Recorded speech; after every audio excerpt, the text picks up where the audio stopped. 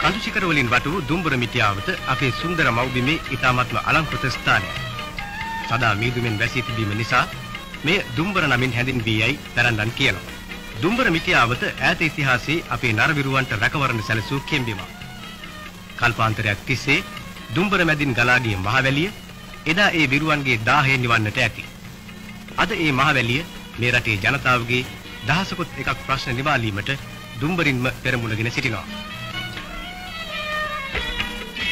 මහවැලිය අවුරා Victoria වේල්ල ඉදිකිරීම Mahaweli සංවර්ධන ගරු අමාත්‍ය ගාමිණී දිසානායක මහතාගේ ආරාධනයෙන් අතිගරු ජනාධිපති උතුමාණන් අතින් 1979 පෙබරවාරි මාස 4 වෙනිදා ආරම්භ වුණා. අග්‍රාමාත්‍ය ආර් ප්‍රේමදාස මහතා ඇතුළු මැති ඇමතුරුන් සමග බ්‍රිතාන්‍යයේ විදේශ සංවර්ධන අමාත්‍ය නීල් බාටන් මහතාද මේ උළෙලට එක් වුණා.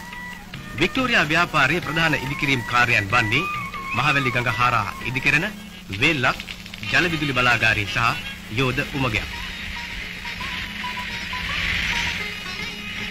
වේල්ල ඉදිවන්නේ තනිකරම කොන්ක්‍රීට් වලින්.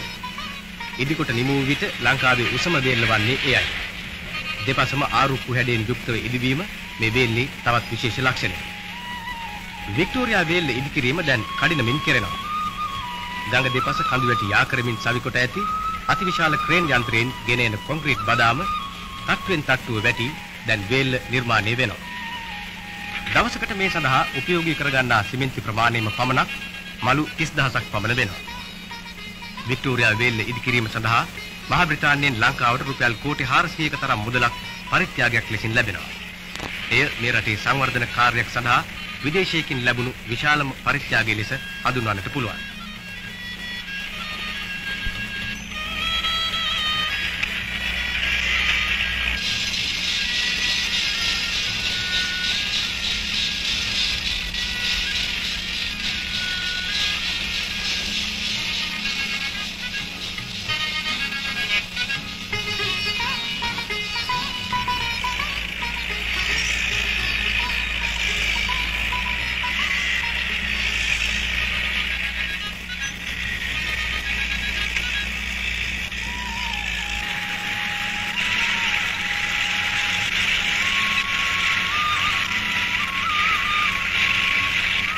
වික්ටෝරියා වේල්ල ඉදිකරන ස්ථානයේ මහවැලි ගඟ හැරවීම මේ යෝධ ව්‍යාපාරයේ මෑතකදී සිදු වූ වැදගත්ම සිද්ධියක්.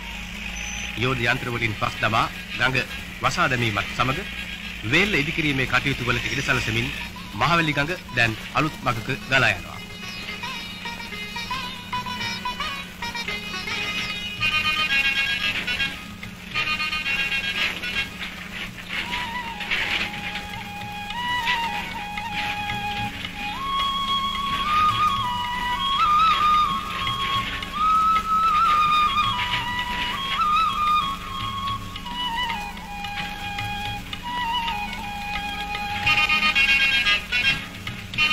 ඉඩම් ඉඩම් සංවර්ධන සහ මහවැලි සංවර්ධන අමාත්‍ය ගාමිණී දිසානායක මහතා වික්ටෝරියා ව්‍යාපාරයට ගොස් එහි කටයුතු කඩිනම් කරවීම නිරතුරුවම දක්නට ලැබෙන දර්ශනයක්.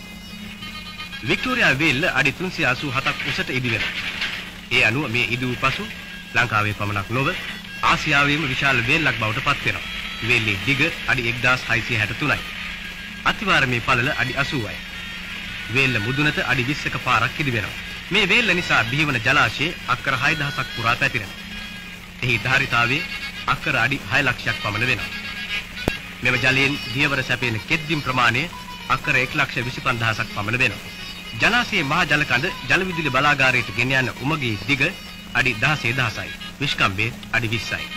ජල විදුලි බලාගාරයේ ඉදිවන්නේ අධීර දෙකකින්. දැන් ඉදිවන ප්‍රථම අධීර යටතේ මෙගාවොට් 210ක ජල විදුලි බලයක් නිපදවීමට හැකියි. මේ දශකයේ අවසාන භාගයේදී මේ දෙවෙනි අධීර යටතේ තවත් මෙගාවොට් 210ක ජල විදුලි බලාගාරයක් ඉදි වෙනවා. මුල් සැලසුම් අනුව මහවැලි ව්‍යාපාරයේ නිම කළ යුතු වූයේ අවුරුදු 30කින්.